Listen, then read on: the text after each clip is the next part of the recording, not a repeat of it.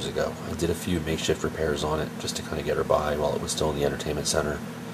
And uh, it only lasted a week each time I did it, so we pulled it out. She bought a new one uh, and just never got around to fixing it. Um, but the new one that she has just doesn't. It's a 5.1 surround and uh, doesn't work very good for music.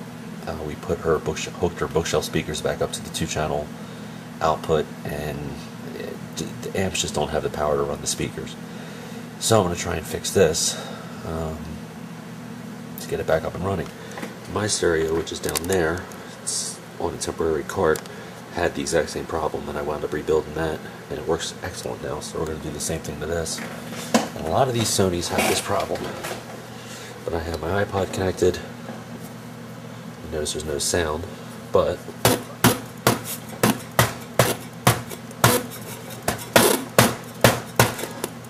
it's called a cold solder joint. I bet you there's a lot of them in there. So I'm going to show you how to flip it over and uh, desolder all the connections and resolder all of them. And uh, we'll see what happens. A look at the inside, you'll see this is the heat sink. And these are all the power amps. At the inside, this is the heat sink. I guess this looks like it's either looks like it's steel. They they make them cheap anymore. They're either steel or aluminum. Um, and these are all the MOSFETs. They're all the power amps. And it looks like these down here, the preamps. And these get actually fairly hot. And what happens is the legs are metal; they heat up. And what happens is the as the metal as they you know expand in the hole, it kind of uh, it's kind of like if you put your arm in the sand uh, in wet sand, you can work it around and make the basically just makes the hole bigger. Um, also, the fact that it's not heating up um, to about 300 some degrees, which is when solder melts, you get a cold solder joint. So what happens is, is you have solder. I'll show you. Excuse my crappy makeshift repairs. What happens is, is the piece that comes through the hole. Let's see if I can get a focus on that. Works its way loose, so there's a tiny little gap between the solder and the actual connector, and it, the metal oxidizes, dust gets in there, and not to mention the fact that there's just a bad connection. Um, you get exactly what's happening now, and that's a cold solder joint. So what I did before was I just reheated all the solder, reflowed it, and that's actually not, I don't care who you talk to, that is not a fix. That's only a temporary fix because you have to clean out all the oxidation and all the crap that's now in the solder. So you have to desolder it completely and resolder it. A lot of people say you can just quote unquote reflow the solder. Yeah, that'll work temporarily, but not it's not a permanent fix. So, and looking at this, actually, I didn't do too bad of a job considering I had my head in an enter entertainment center when I was doing this. But um, this all all these connections need to be redone. There's also a lot of these connections here. All these bands and I blew this out with dust beforehand. It was pretty bad. I want to clean all these out with the contact cleaner. And if you notice in here, these here, I want to clean all them out. And take a look at all the components, make sure nothing's burned up. And just give it a quick once over. It's not an old machine, so it doesn't need a full rebuild, it just needs repair. So, I'm going to show you how to do that. One thing you want to do before you do any work on an amplifier, power supply, or any kind of large electronic equipment, really any, is discharge the power supply. It's unplugged. Um, this is the soldering iron, this is the power adapter for the camera, and this is just for a transformer for something else. If you notice, there's these big circular things. They're capacitors. They hold a charge. And the thing about capacitors are they're kind of like batteries, except they want to release all of their power at one shot. These are fairly large. The ones that are in, let's say, a window unit air conditioner or central air are huge. And to discharge them, I've actually seen them melt screwdrivers um, because what you do is between, on the two terminals underneath of it, you short them out. It's going to spark, uh, so you got to be careful. And you don't want to touch that; it will burn you. Um, I don't. It's not necessarily going to kill you. Well, if you touch it with your finger, it's probably not. But if you let the charge go through your body, you're going to get a jolt. But uh, you're probably going to get burnt more than anything. You probably get put a hole in your finger. Um, and that is pretty filthy still, but it was you should have seen it before. Um, discharging a window unit air conditioner is it's fun. Uh, I've actually, like I said, I actually seen it melt the tip off of a screwdriver. So these little ones you really don't have to worry about too much. But these big ones, this is the transformer here, and these are the two capacitors, and I'll show you. Usually there's a panel on the bottom. I'll let you get to them. In this case, there's not. So the proper way to do it would be to take these screws out and remove that whole board carefully and discharge them. Now, what I did is I just, is don't ever do this, but what I did is uh, I used a pair of you know screw, uh, scissors. I snuck it in behind there and discharged the two terminals. And basically, if you look, let's see if I can focus in on this. There. You see that symbol right there? That's the symbol for capacitor. And there's the contacts. So what I did is I put a screwdriver or a um, pair of scissors in there and I touched the two terminals together and it discharged and it sparked. Just to show you, see that? Yeah, that was from that. So it's a good amount of power and you shouldn't be using screw uh, scissors. They weren't meant for this kind of thing, but whatever, it worked for me. I'm too lazy to take this all apart.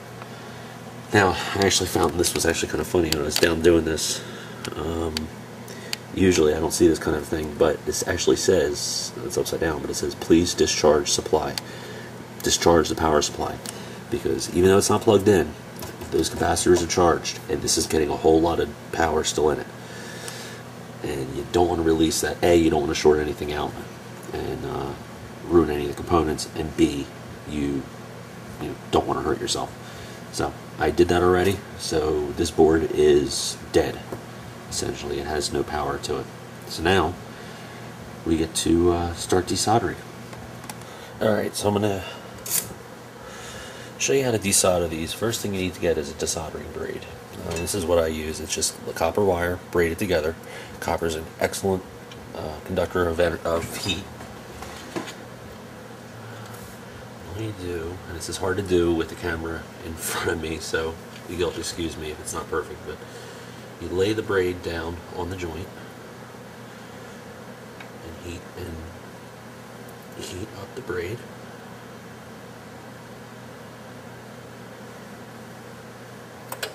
And what it does is it sucks the solder onto the braid. Now, I didn't do a very good job, like I said, because I have the camera in front of me and I can't really get a good angle.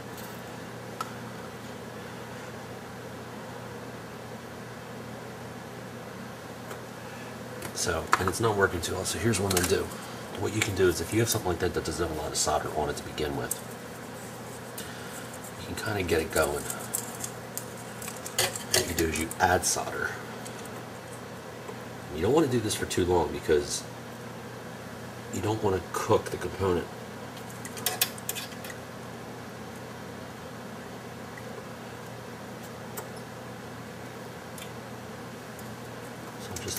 just heating up, adding more solder. I know this kind of seems backwards from what we need to do, but you'll see why I'm doing this in a minute. So put the braid, since there's not much on there, I'm going to reuse the same part of the braid.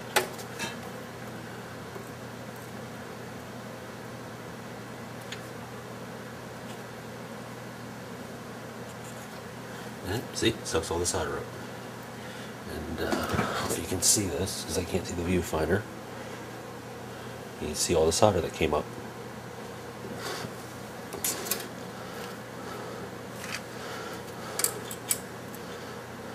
Now, you'll see, this is also one of the reasons I said that you need to discharge the board.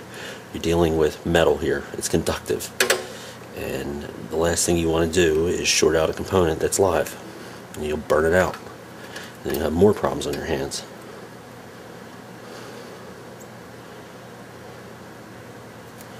There you go. Now, I'm going to turn the camera off and do the rest of them um, so I can get a good angle and actually see what I'm doing. But that's essentially what you need to do. So we'll do those first and then I'll be back. I'm going to check in with you and show you. That's essentially what you're looking for. I still have a little bit more to get off. But notice the solder's coming off nicely. Um, now, the one thing I didn't tell you is, or I didn't make clear, when you use this stuff, when you put the iron on, you want to make sure that you're touching only the braid. And if you have to, you can use some needle nose and squish it to spread it out some, like I did here, to get more surface area. And also, it makes it a little bit thinner, so it heats up a little bit quicker. Um, also, you got to be careful not only of damaging the component with the heat, but also all these little tracks on the board can peel off. Also, and the pads below all the solder, below all these, if you were to take these off, there's exo exposed copper pads. They can come off. I mean, it's essentially only glued on. Um, if you want to know how that's made, look up how to how they make circuit boards. But because um, you need to make them at home, a different way. But you got to be careful how much heat you use. Now, if you are worried about damaging the component, one of the things you can do is turn this over. See all those legs? You get a heat. Now it has a heat sink to protect the component from heat, but you're applying about 300 and what 320, 350 degrees Celsius to each of these legs. And that leg's going right up in here, and these are made out of like silicone. So you got to be careful, you know, of baking the component. Now, one of the things you can do is either A, get a clip-on heatsink, or B, use one of these. It's not perfect, but it works. Just enough to uh, draw some of the heat away from it to give you a little bit more, you know, wiggle room. And just, you know, attach to each of the legs. Now, if you use the same wire for two legs, you gotta make sure it's completely discharged because, you, again, you don't want to short it out. You short it out, you got problems. You don't, you're not just going to be, you know, resoldering it. You're going to be replacing and finding that these components a lot of these stuff you're not going to find at your local Radio Shack. You're going to have to go to DigiKey or you know something online to find that component, and it's just going to become a big headache. And it's you know what do they say? An ounce of prevention. Well, if you're unsure if it's completely discharged, don't use both sides. Just use one and make sure it doesn't touch anything else. Okay, so just check it in. I got everything resoldered. Um, this kind of worries me. It's a little discolored here. That's probably because I think it's extremely hot. So I'm going to desolder all these and redo them. And I don't even know if I can do this with the camera, but if you see, yeah, see that? Right. Look at these ones here, and then look at that. Notice the difference? That's a sign of a cold solder joint. See how the solder isn't exactly shiny? Um, this actually looks like lead-free solder that they used, so that's why it's not shiny. But notice how there's kind of like a gap. I mean, it's not that great for this camera, but you see what I'm talking about, I hope. Um, that looks like a transistor, and that looks like it gets hot. So I'm going to flip it over and see exactly what it is. But that looks to me like a cold solder joint. So I'm going to desolder them and resolder it. Um, and I got to do a little bit of cleanup. One thing you want to do before you're done is do an inspection of the board. Any solder splatters, let's see if I can show you. Where is it at? Like that, solder splatter. Get that out of there. If you have anything touching terminals, it's not good, especially if you're stripping wire. That will short something out, and you'll have problems. What is this? That's just a hair, it looks like but I'm not sure, so I'm going to get that out of there.